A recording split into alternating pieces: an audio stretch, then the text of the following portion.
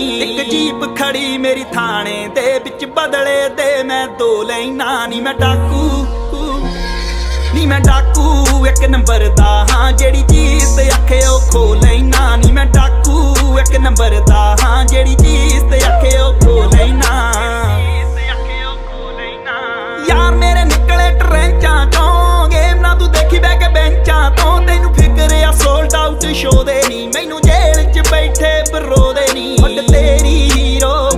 ਐ ਨਹੀਂ ਕਾ ਤੂੰ ਕ੍ਰਿਮੀਨਲ ਕਹਿ